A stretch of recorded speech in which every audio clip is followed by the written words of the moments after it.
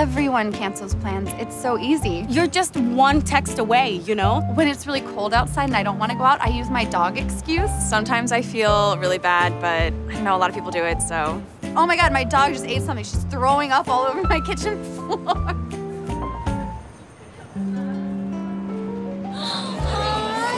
my god, it's been too long.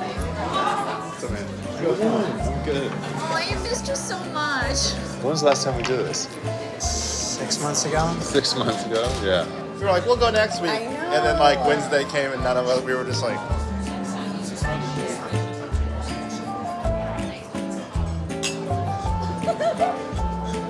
I just felt like three checks in my pocket. Well, don't pick us. Yes. Eyes on the prize. Yes.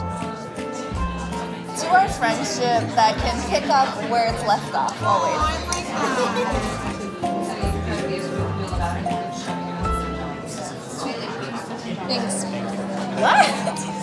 Am I reading that right? Wait, I'm so confused. What is what is that? I think these, uh, these dum-dums made a mistake. He literally just pumped our entire meal. You want to split it? No, it's it's only like- four no, no, it's like dollars and table twelve cents.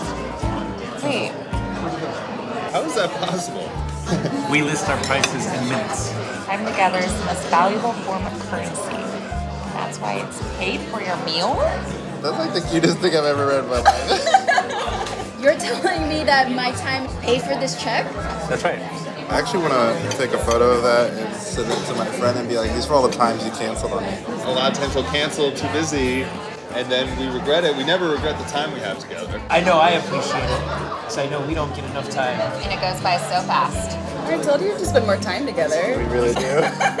So I pay. We all have busy lives. We all have to cancel plans sometimes. But this Saturday is Leap Day, a gift of 24 hours. It's a perfect opportunity to uncancel plans. Why not tag someone that you want to spend more time with? Because once these 24 hours are gone, they're gone.